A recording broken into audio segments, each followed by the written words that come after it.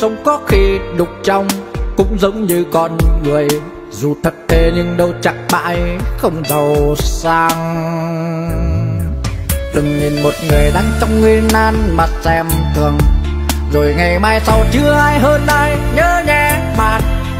Ai có qua cuộc chơi mới hiểu ra sự đời cuộc đời ai cũng có những khi cử hàn thôi.